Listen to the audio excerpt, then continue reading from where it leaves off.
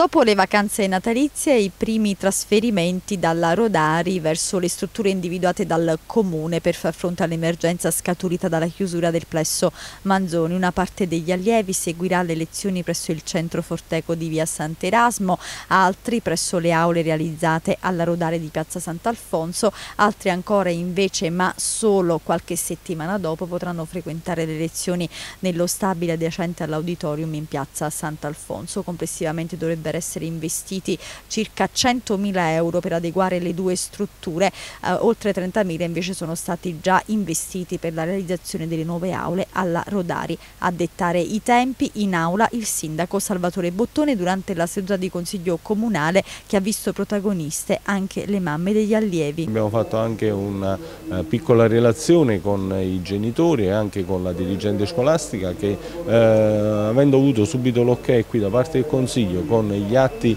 di gara con tutto il computo metrico pronto, noi eh, al rientro dalla, eh, dalle fe, feste natalizie il Forteco è disponibile e sarà disponibile anche la eh, Rodari. Io mi auguro che le aule della Rodari possano essere disponibili già a breve perché abbiamo mandato la relazione ai vigili del fuoco, abbiamo trovato piena disponibilità da parte del comandante dei vigili del fuoco, quindi aspettiamo una risposta breve. Posso già dare eh, alla, alla, alla, collettività, quindi alla dirigente, le sei aule che abbiamo realizzato all'interno della Rodari. Qualche settimana in più per l'auditorium? Per l'auditorium noi ci siamo dati un tempo più lungo perché eh, in quel caso noi dobbiamo eh, realizzare una scala di emergenza esterna, quindi abbiamo dovuto procedere ai vari calcoli e tutto quello che poi questo comporta. In prospettiva si sta ragionando, lei dice, anche per una soluzione che eh, possa dare a questi bambini un'unica scuola per tutti? E abbiamo già eh, dato mandato a, il, eh, a, un tecnico esterno per il progetto di una nuova scuola nella, eh, nella parte di Traversa Taurana, nell'area comunale di Traversa Taurana e quindi sistemeremo anche quella soluzione. La convocazione di questo Consiglio Comunale è stata dirompente anche in seno al gruppo consigliare del Partito Democratico. Giussi Fiore ha preso una posizione netta nei suoi confronti, non ha condiviso la scelta sua di firmare il documento con la richiesta. Mm, no, no, no non l'ho letta e non l'ho sentita, non, mi, non, abbiamo avuto il modo di sentirci non ho letto questa dichiarazione. Però non, non vedo perché, credo che eh, sia nelle prerogative dei consiglieri e sia nel dovere dei consiglieri in una vicenda come questa eh, chiedere all'amministrazione di venire in aula, visto che non dà spiegazioni o perlomeno se ne dà, ne dà approssimative una dopo l'altro. Cioè, credo che il Consiglio Comunale in una vicenda drammatica come questa, dove ci sono state continue ribellioni e chi parla di strumentalizzazioni ha poco rispetto del ruolo delle persone e dei consiglieri. Eh, c'è la, la, necessità in una vicenda drammatica come questa di andare in Consiglio Comunale e trovare una soluzione univoca. Ma in seno al gruppo consigliare del Partito Democratico di questa vicenda si era parlato nei giorni scorsi? Avete una posizione univoca? No, io penso che la, il PD in quest'Aula ha sempre avuto una posizione univoca, credo che l'abbia anche adesso perché quello per cui ragioniamo è le, le soluzioni migliori eh, per, eh, per, la collettività, altre, altri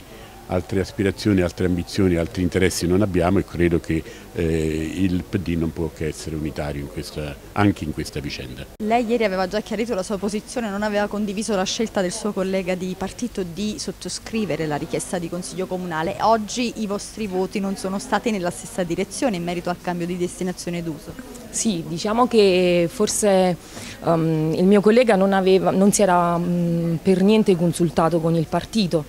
poiché uh, se il partito che io rappresento in quanto capogruppo ha scelto di non um, parlare su questa vicenda è proprio perché riteniamo che sia una vicenda molto delicata, dove alla base c'è uh, la tutela dei bambini.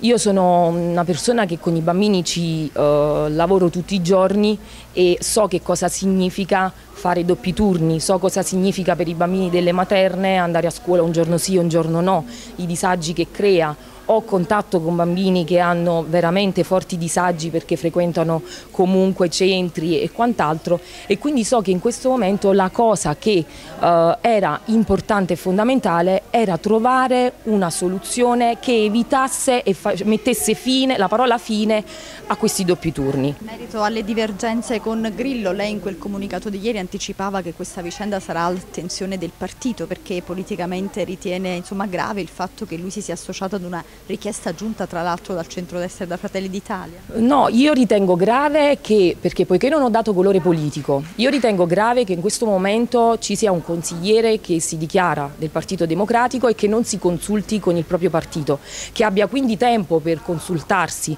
con altri partiti ma non con il partito di cui uh, fa parte e di cui io sono capogruppo perché ho avuto modo di, uh, parlando anche col segretario di circolo, di capire che non, neanche con lei si è mai confrontato rispetto a questa vicenda. Ma lei era stata chiesta la firma per quel consiglio comune? A me non era stata chiesta, uh, assolutamente. Se fosse stata chiesta a me, ma come credo a tutti i membri di questo consiglio comunale, sicuramente sarebbe stato fatto, anche perché questo era un consiglio comunale che bisognava fare per, il, per uh, poter cambiare la destinazione d'uso di questi locali e per, per poter poi evitare i doppi turni.